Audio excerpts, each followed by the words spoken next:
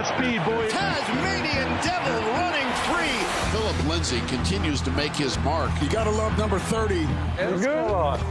How does an undrafted guy run around wearing number two all through OTAs, have the stones to say, I want to wear 30, the greatest running back in franchise history? What a run by Terrell Davis. How many tackles did he break on that baby? You know, I felt like it was the right thing to do.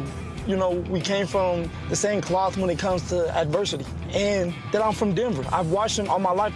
So, how does it go down? You call him. Does he want anything in return? Numbers can go for a lot. Hey, I mean, he pretty NFL. much said that, you know, I had to buy him dinner. Next time he sees me. Well, that's So, gonna you happen. know, How you doing? The doing? man himself. You good? How you doing? I'm good. Have a seat. Have a All right, seat. all right, appreciate it. Let's that, chop man. it up. This is good. Gotta Okay, my got the- here got- now. got to get the Look, going out look, there. Here. Lindsay hit the Jets. Phillip Lindsay. Touchdown, Denver. So you know, I still live with my, my parents and stuff. Yeah, I've heard, I've heard Yeah, that. yeah. it's Try to try to save some money. Is mom cooking or is she? She does. She'll, she'll cook sometimes, uh, but honestly, I'm just there in the basement because I moved in my sister's room. But when when she gets there, I'll be sleeping on the couch. How does the AFC Offensive Player of the Week sleep on the couch? Lindsay stutter steps in the backfield now with a burst to the goal line. Touchdown, Denver.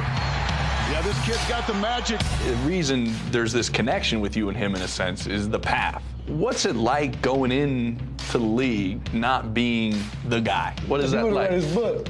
you want to know how he was feeling when he was going up to the fence. Terrell Davis has been the big story, one of the best runners coming in the sixth round of the draft. Do you have similar moments? You didn't have a whole lot of time to decide where you were going to go as an undrafted free agent. John Elway calls you to come play for your hometown Broncos. What do you What do you say to him on the phone? I was mad. I wasn't gonna lie. Good. I'm, I'm not that good to even be a seventh round pick, and I'll never forget. Mr. Elway was in there, Coach Vance. I said, you guys can mock my words, and I know all y'all are listening. I said, by the end of this, you guys are gonna know I'm the starting running back. Hung the phone Go up. ahead. Go Can you- ahead. See, I didn't know all that. Yeah. Lindsay standing up into the end zone. Touchdown, Denver.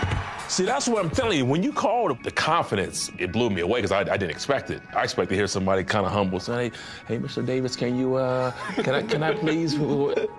I was expecting that, but it was like, "Yeah, you know, uh, I watched you growing up, and I was, I was like, oh, this is interesting." I'm just thinking that, wow, like this number represents something bigger than just me playing it. I said it really represents the underdog.